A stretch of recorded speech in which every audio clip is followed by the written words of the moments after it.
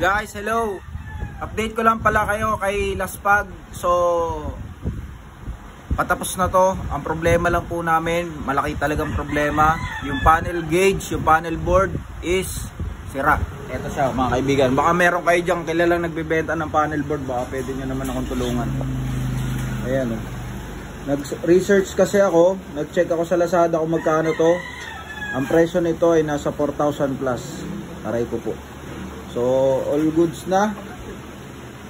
Si Tropa. Tropa, anong ginawa natin dito, Tol?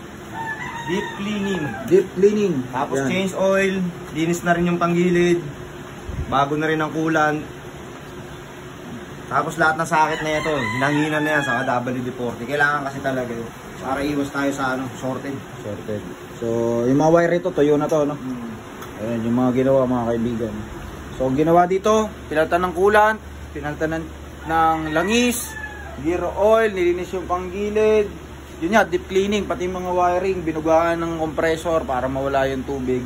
Tapos, syempre, hindi mo na nila ginalaw ng isang buong gabi. Yan, pinatuyo nila. Ang pinaka main problem, eto po. Ayan po. Sinubukan namin i-survive, pero negative.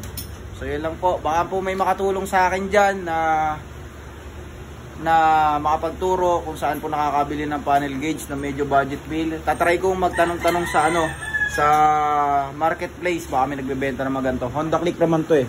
Version 2. Yan. So baka mamaya may mga nagbebenta ng ganito. So yan lamang po. Balikan ko po kayo sa susunod na update natin tungkol kay Laspag. Alright. Pati pala brake, ah ano tawag dito? Ah, air filter papalitan din yan. Yun lang. Yun lang mga kaibigan. Balikan ko kayo.